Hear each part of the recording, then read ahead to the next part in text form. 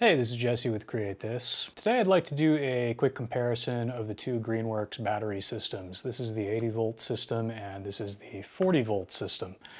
Uh, first, a bit of information about how they list the voltages here. Uh, 80 volt and 40 volt are both max voltages of the batteries. They're not the nominal voltages. So for the 40 volt system, the nominal voltage is 36.5 volts. And for the 80 volt system, the nominal voltage is 72 volts.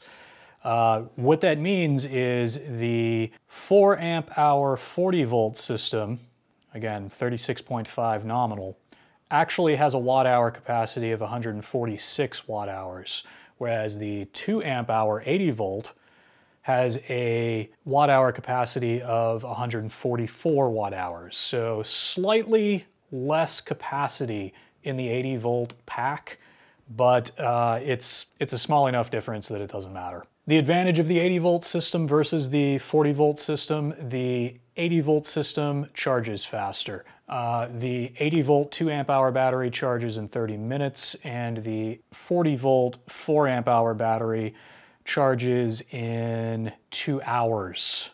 So quite a substantial difference in charging time.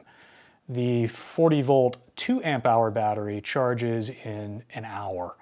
So uh, none of the 40 volt batteries charge as fast as the smallest 80 volt battery. There is a 4 amp hour version of the 80 volt battery and there's also a 5 amp hour version that I don't have. Um, the 4 amp hour version of the 80 volt battery is in exactly the same form factor as far as I know. Uh, it is just a heavier battery and it costs more. With the 40 volt system, the larger capacity batteries like the 4 amp hour and 5 amp hour batteries, uh, again, I don't have the 5 amp hour, as you increase the capacity of the battery, the size of the battery changes as well and they grow taller. Looking at these two batteries side by side, they are about the same height.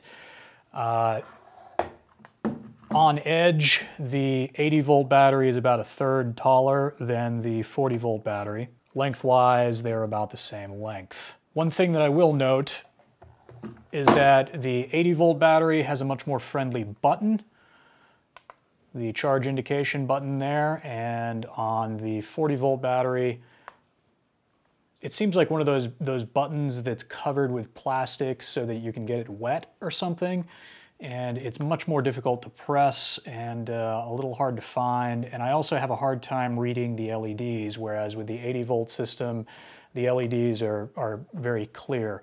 However, I will note that I prefer the four LEDs on the 40 volt system versus the three LEDs on the 80 volt system. I feel like the 80 volt system almost approaches idiot light status uh, because you'll have a perfectly serviceable battery and uh, you know that's actually giving you charge. And when you press this button, uh, none of the lights show up.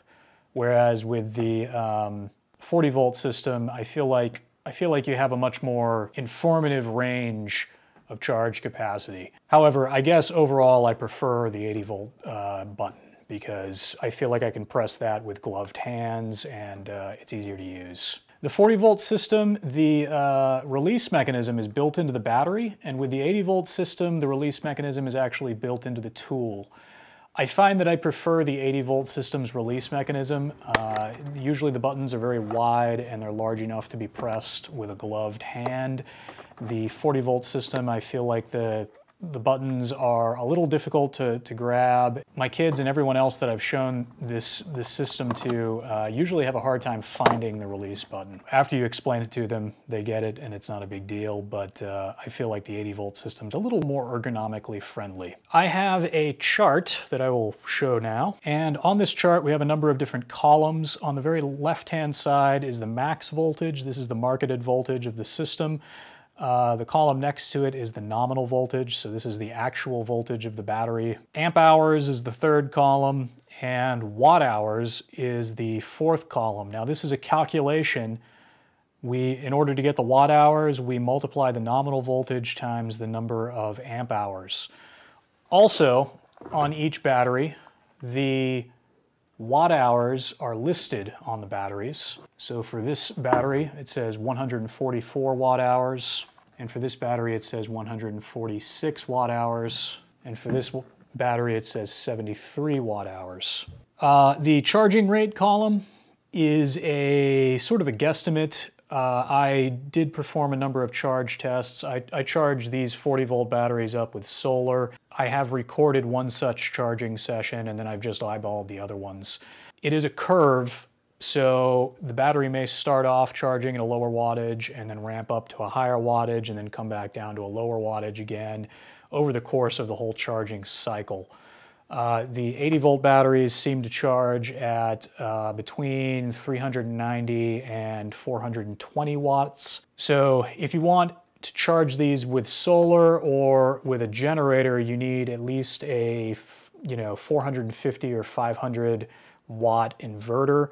For the 80 volt system and for the 40 volt system, you'll do fine with a 300 watt inverter uh, maybe even a smaller inverter, but 300 watt is about as small as I like to go. During charging, the 40 volt system tends to get fairly hot, uh, almost disturbingly so. I really don't like how hot the batteries get. There isn't a fan for the, uh, the charger. The 80 volt system, on the other hand, stays cool at all times. There's a, a fairly large fan on the charger and it appears to blow through these slots in the battery uh, which does a, a good job of keeping the battery cool. The 80 volt system charger is much louder than the 40 volt system charger uh, because of the fan. Though the 40 volt system um, does have a bit of a whine to it sometimes. Quick noise comparison test, 40 volt Greenworks charger on the left, 80 volt Greenworks charger on the right. Let's do the 40 volt first. Two red lights means that it's charging. I hear a little bit of a whine, but it's almost inaudible, especially from behind the camera. Next, let's do the 80 volt Greenworks charger.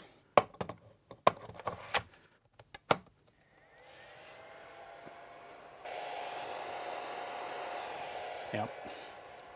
One of the nice things about electric battery systems is that they can be charged via a variety of sources. Uh, all of these can obviously be plugged into the wall. Uh, I have personally solar charged the 40 volt system and uh, I could charge the 80 volt system with my solar generator, but it's more convenient for me to charge it down in the basement. My, my solar generator is up here on the first floor of the house and uh, it, you know, it's just more steps to, to walk up the stairs. So I usually charge this with uh, grid power. But I could charge it with solar if I wanted to, and I like, I like having that capability. Um, I also have a Yamaha EF2000IS generator. That's a 2000 watt generator, and uh, it has a, an economy mode. And I could charge all of these batteries in economy mode. And so in economy mode, that generator runs for between eight and 10 hours on a single tank of gasoline. So you know, if you're using a generator like that that's fuel efficient, uh, you can get some pretty decent uh, fuel economy out of a gasoline generator with electric power tools, cordless electric power tools. I guess at that point it's almost like you've got a hybrid car. It's kind of interesting. Uh, just a quick note here that the generator is indeed in economy mode. I believe this is the economy mode switch here. Yeah, that's off and that's on. So it does indeed charge these in economy mode, that's nice. The, uh, the weight column in this chart is taken from the Amazon shipping weights. So uh, it, it may not be the actual weight of the batteries themselves. There might be packing materials there or they might be estimates. Um, to my mind, you know, the 4 amp hour 40 volt and the 2 amp hour 80 volt seem like almost exactly the same weight. So uh, you can, you can kind of use that as a, an estimated guide if you'd like. All right, that's it. Uh, if you have any additional questions about these batteries, please feel free to let me know down in the comments down below the video. I usually respond pretty quickly. I tried to cover everything that I could think of, but in case I missed something, please let me know. If you like this video, go ahead and mash that like button. I do have links to all of these batteries and chargers down below the video in the description. Please check that out if you're interested in picking up any of these. I also have a few links to the power tools associated with the batteries. As always, thanks for watching and please subscribe.